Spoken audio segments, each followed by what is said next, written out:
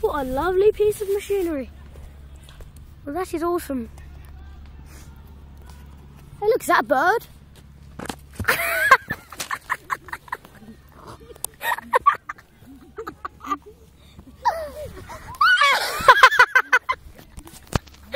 What's going on with Brad and his coat today?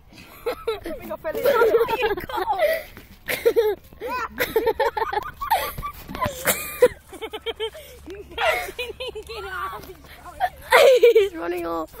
Ah, ah.